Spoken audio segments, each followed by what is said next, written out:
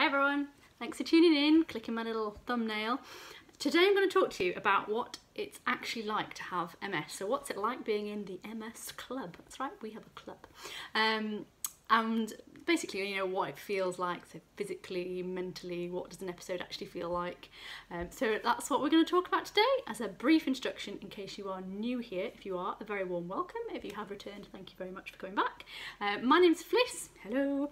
Uh, I was diagnosed with relapsing remitting MS almost nine years ago, and I've gone from having loads and loads and loads of episodes to um, near to nothing through changing my diet and lifestyle.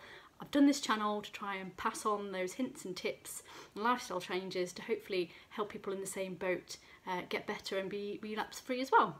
So if that sounds like something you are interested in, please do subscribe in the link below and hopefully um, I'll be able to help you get on and get better. So without further ado, let's have the video.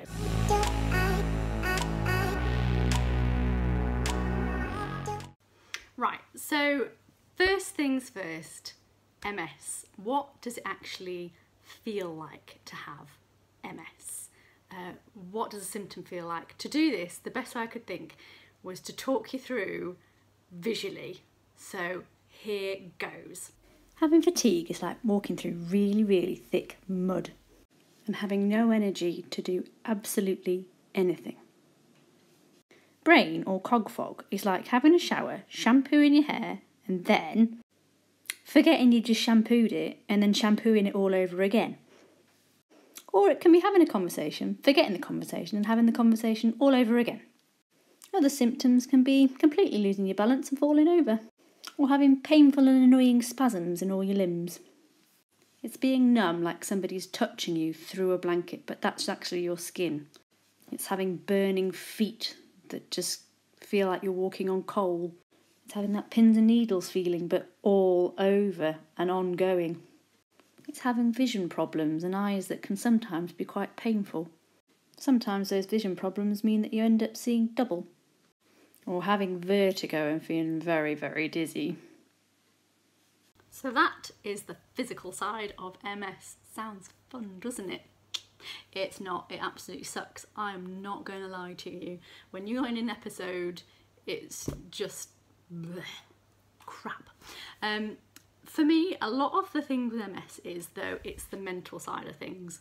Um, for a few reasons. First and foremost, it's that realization that it's a chronic illness, okay? This crap is never going away. You're always going to have it in the back of your mind, eating away, going, oh, any day I could make you feel like rubbish and there's nothing you could do with it.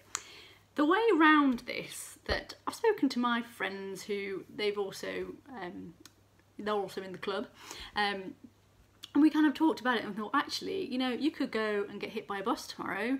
There's no point dwelling on what it's going to do to you next or because it might not do it.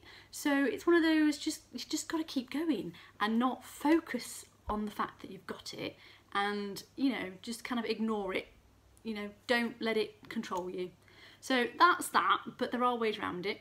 Um, when I first started, when I first got diagnosed, not started, when I first got diagnosed, a big problem was A, you don't really know, it's not that well known about, and the other thing with MS is it's different for everybody.